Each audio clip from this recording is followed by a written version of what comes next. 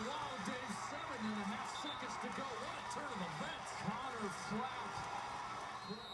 Been a couple mistakes, and now it looks like Lakeville North might be in control here. They can make some free throws.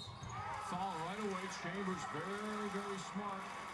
Got his hand on the player right away, so you had point two, on a two-point lead.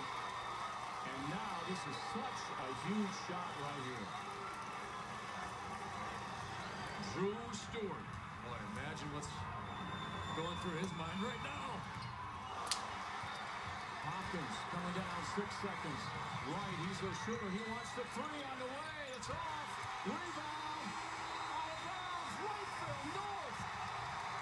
State champions. 84 to 82. Wow, what a game, Dave. Celebrating in front of their student section.